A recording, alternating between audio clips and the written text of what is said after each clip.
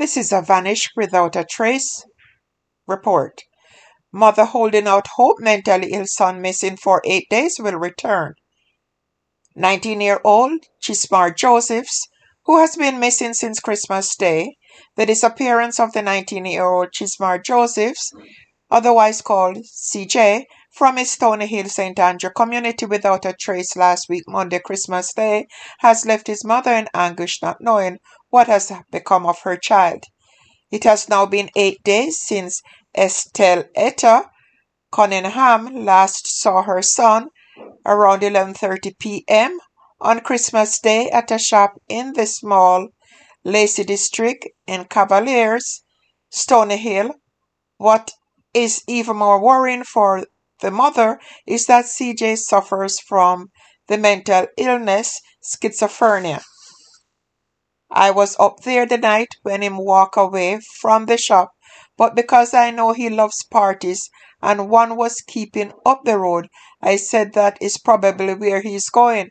I never knew I would see him after that night up to this day. I didn't see him come home that night.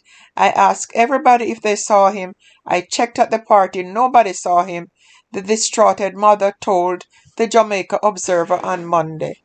Cunningham says that due to his condition, CJ has wandered off before and will be gone for two, three days at a time, but never for this long.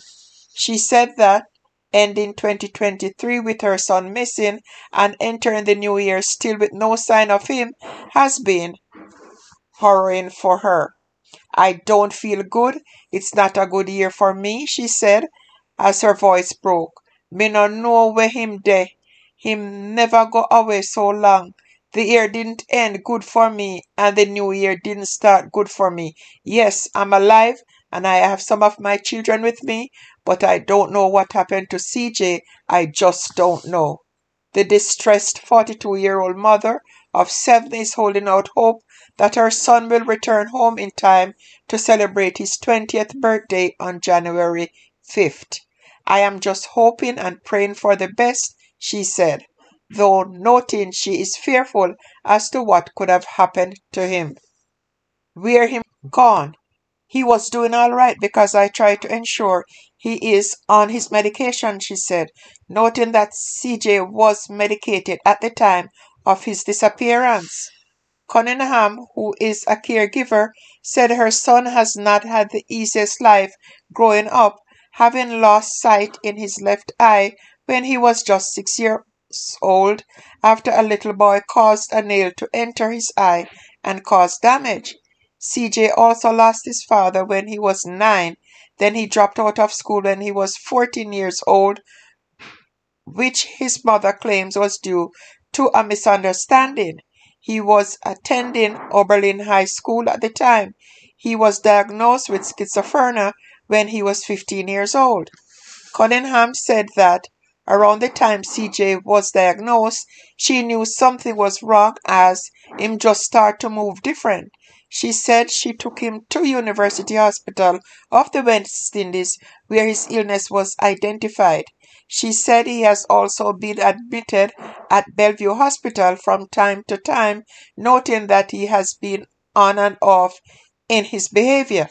She, however, believes that before her son went missing, he was coping, only recalling two incidents when he reacted violently towards her in the initial stages of his illness. She had reprimanded him and he had attempted to hit her. At another time, he succeeded in hitting her in the eye, but Cunningham insisted that her son is not usually violent in nature and that he doesn't try to hurt anyone in his community. CJ, who is unemployed, would often spend his days at home or walking up the road to the district and then returning home. Sometimes he would go further and end up in halfway tree. His mother says, however, that she would often caution him about venturing too far away from home. People would normally see him roaming and report sightings to his mother, but on the day he was missing, nobody spotted him after that fateful night. Cunningham says she reported him missing to the police on Thursday, who told her that she has to play her part too in finding him. I guess my part is to drive around and look, but I don't know where to start from. I'm just wondering which direction he could have turned and which part him go, she said with bewilderment, noting that family members and friends have gone out to Halfway Tree and downtown Kingston looking for him, but they came up empty handed. I'm planning to see if I can go today, but I don't know where to go. And then, me alone can't look for him. I don't know which direction to turn.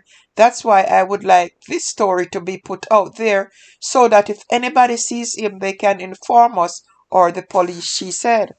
Cunningham, who has children ranging from ages 3 to 23 years old, said CJ's siblings are concerned about him, with his six year old brother surmising that them kidnapped CJ.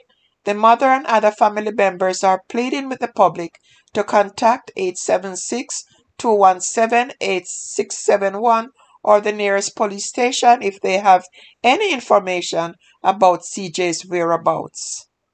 Could have gone. Are you tired of browsing all over the latest happenings in Jamaica? Discover it right here on Jamaica News Online TV YouTube channel. Foreigner home, and you want to be in touch with the happenings in Jamaica? Guess what? You are in the right place. We bring you reactions to the latest news at 6 a.m., 12 noon, and straight up news at 6 p.m. Ask and you shall receive, guys. So if you are watching this video, like, subscribe, comment, or share. Hit that subscribe button and remember to comment below with your thoughts.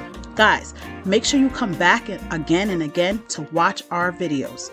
Remember, 6 a.m., 12 p.m., and 6 p.m. We are always here to give you